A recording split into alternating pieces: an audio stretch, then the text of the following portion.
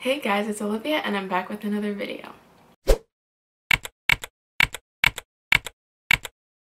So as you can tell by the title of this video, I'm going to tell you how to get a guy to like you. And considering I've been single for my whole entire life, I am an expert on this topic. So how to get a guy to like you? Simple answer, you don't. Let me explain. Obviously, if you like someone, you want to get to know them and you're going to want to find out things about them, find out what sport he likes, what music he likes, if he plays an instrument, what his favorite song is and stuff like that. You're going to want to find out those things about them because you like them and that's just how it is. So I'm not saying that you shouldn't make the effort to get to know this person, but when I say you don't make them like you, this is what I mean. So if you like this person and so you get to know him and then you find out that he loves football, but you personally hate football, don't pretend that you like football if he, just because he does. if you find out that his favorite genre of music is classical and you've never listened to a classical piece in your life, don't pretend like you like classical music just because he does. Side note, if he tells you that he loves classical music and you've never heard classical music, then yes, you should probably go a little bit out of your way to maybe listen to some classical music.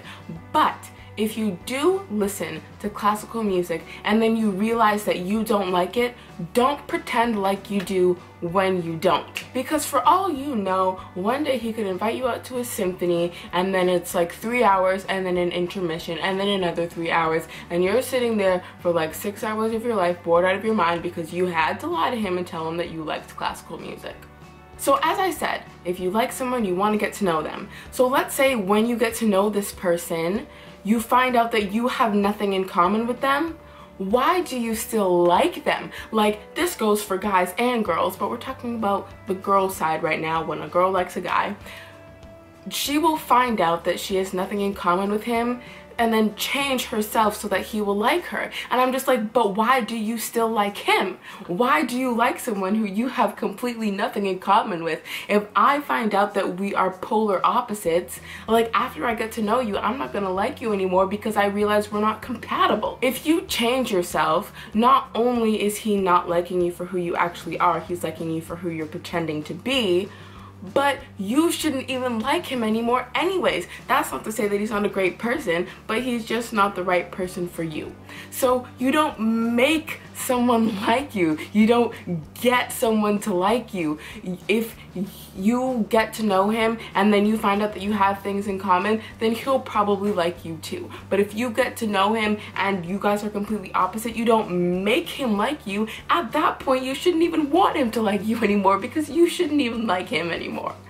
So these are just my two cents on the topic because I know a bunch of girls who will completely alter themselves for a guy. And I'm like you do not have to do that because there is someone out there who's gonna like you for who you are. And if you feel the need to change yourself for someone that person is not the person for you. Plus you shouldn't even still like that person in the first place after you found out that you have negative 12% of things in common and if you get to know someone and realize that you don't have anything in common with them, it's okay to stop liking them. There's no rule that says that you can't do that. So you can be like, oh, I liked him, but then I got to know him and I realized we didn't really have anything in common. And then you move on to someone who you could actually potentially be with because you like the same things. So basically, my summary of this video is, if you like someone, try to get to know them. Like if you don't know anything about them,